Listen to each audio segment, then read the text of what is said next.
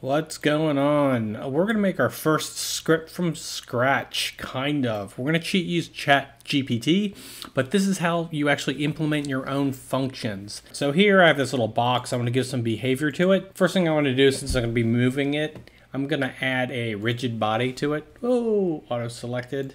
Okay, so that's all you need to do there. Now if you go to Chat GPT, it'll ask you to log in or create a new account, or if you just click log in with Google, you'll get this interface. So we're just going to have it jump around the screen a little bit just to see if we can get it to work. So I'm just going to go and type in uh, write a couple custom playmaker action that makes a game object hop around randomly. All right. So it'll think about it for a little bit.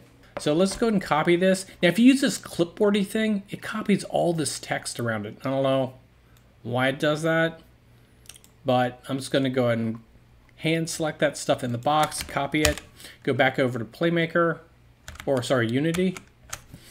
Right click in a folder, I have an assets folder. I'm just gonna go and right click that, create C sharp script.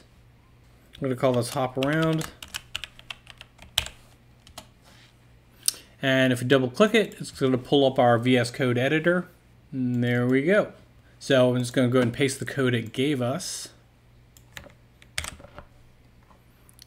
All this stuff. Cool, save it. We should all be set. It's going to compile a script for us, and we're going to go to Playmaker, add a new FSM, and we're just going to look for our action that we just created, and it's by name. So hop around randomly. There it is. So just go and double click it. That's our cube that I just made. So we're going to specify game object. This is the owner, but just for kicks, for clarification, plop that in there minimum distance, maximum distance, one and two. I guess that's okay. So let's go ahead and hit play.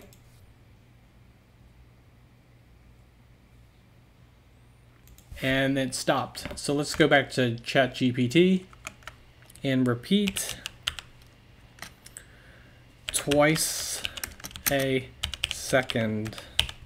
And we'll go ahead and rewrite it for us. Let's go ahead and copy our stuff again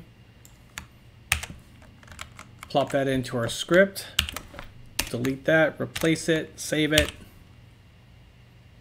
go back over to here. If you look at our actions, here's our hop delay, twice a second. And there we go. All right, so this is just kind of like the tip of the iceberg of what we can do.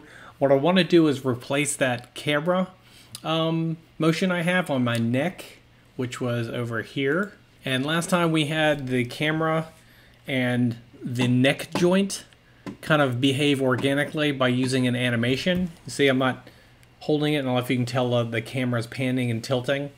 But I figured we can write our kind of like behaviors or, you know, breathing and other animations with chat and randomizing instead of using animations and do it programmatically. All right. Hopefully this was easy enough to find. Leave a comment if you have any questions, and I'll see you guys and ladies later. All right, bye.